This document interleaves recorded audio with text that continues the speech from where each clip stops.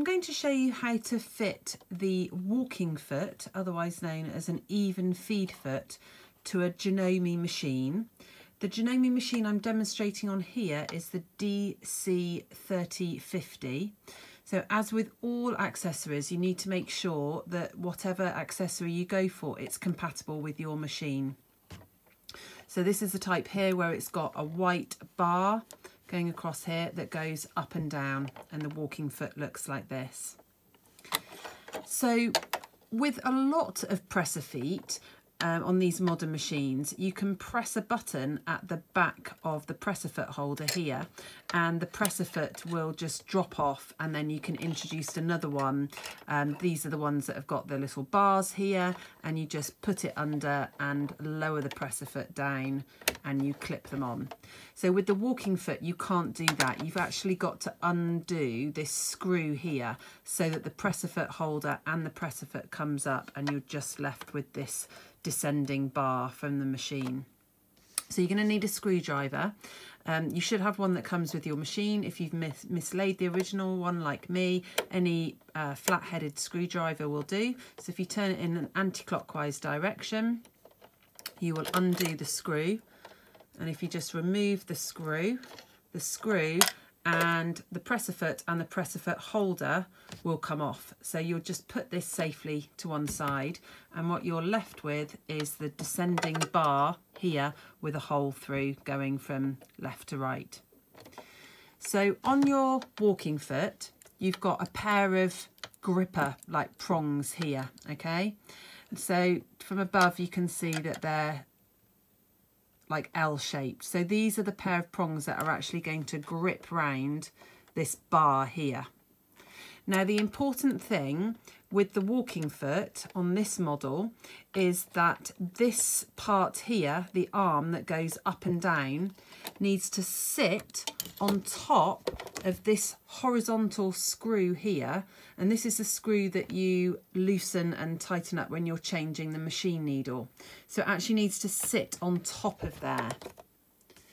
So at the same time as introducing the foot so that you um, get this in line with the hole, you need to bring this up so that it sits on top of the screw. So I'm going to do that now. So with my left hand, I'm holding the walking foot and with my right thumb, I'm just lifting up that, that bar of the walking foot so that it's going to stay high when I bring the two clasps around the descending bar here with the hole in.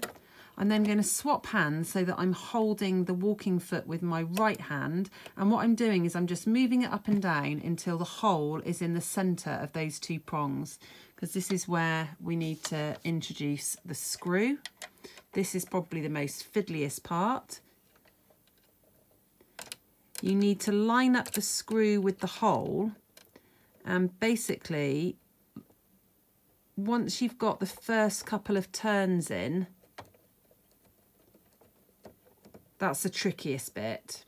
So I've tightened it a little bit with my thumb and finger and now I can tighten it the rest of the way with the screwdriver. So you can see here if I lift up the machine that that white bar the one that moves up and down of the walking foot is resting on top which is what you want. Some walking feet will have a little um, pair of prongs at the end of here and they will sit either side, so gripping onto this bar. But on this particular model, it just needs to rest on top. If I just take it off and show you the incorrect position, is if you were to introduce it so that it was like this, and you'd screw up the screw and this would be left hanging and you'll find that your walking foot just won't work. So this definitely needs to be on top of the bar. So if I just show you that again, take it out. I've actually managed to leave the screw in in this direction. So I've introduced it again and the, the movable bar of the walking foot is resting on top of that screw and then I can tighten it up and you're ready to sew.